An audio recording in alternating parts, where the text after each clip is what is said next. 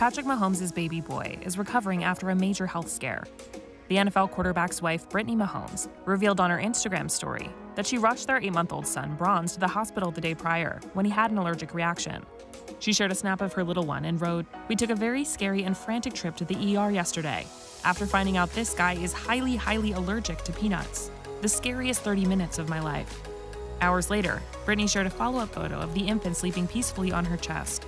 She wrote, Another tooth coming in, so we needed some extra snuggles tonight. Patrick and Brittany welcomed Bronze in November 2022. The little one's given name is Patrick Lavon Mahomes III, carrying on the family tradition. But he goes by Bronze. The nickname is a fitting one, considering his big sister is named Sterling. Brittany frequently shares sweet family photos of her, Patrick, Sterling, and Bronze. Earlier in August, she posted a glimpse at their summer memories and wrote, Well, getting ready for football season, but looking back at our first off season as four. Woo, it flew by. The fall 2023 football season marks Patrick's first time heading into game one as a dad of two. This time last year, Brittany was pregnant with their son. She gave birth to Bronze mid season. And come February, she got to bring the newborn and Sterling to Arizona for the Super Bowl, where Patrick's team, the Kansas City Chiefs, took home the big win. She previously told USA Today of having the whole family there. We didn't really discuss any other options. This is an amazing accomplishment for Patrick, and we knew he wanted both kids there to witness it and support their dad. Overwhelming, maybe, but that's pretty normal for our life in general. He wants his kiddos with him as much as they can be. Following the big game, Access Hollywood took a look at all of the Super Bowl love Patrick got from his fam, and we looked back on his and Brittany's love story.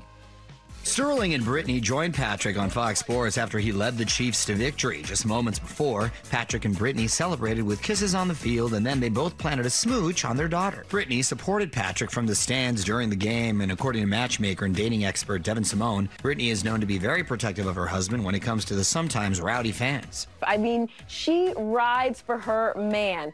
While Patrick is known as sort of the sweet, quiet one, unless he's on the field, Brittany is known to clap back in a second when it comes to social media and Twitter. She stands by her man.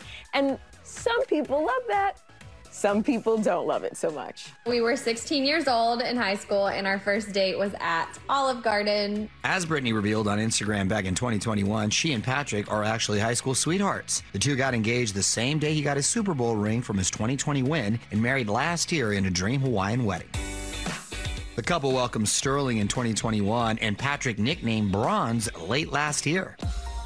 Devyn says these two are a perfect pair because they support each other's dreams. She has her own personal training business. She's actually partially responsible for bringing in uh, a women's soccer team to Kansas City. She really has causes that she champions and supports, and so they are an excellent power duo. And they've known each other the majority of their lives, so their love runs really deep.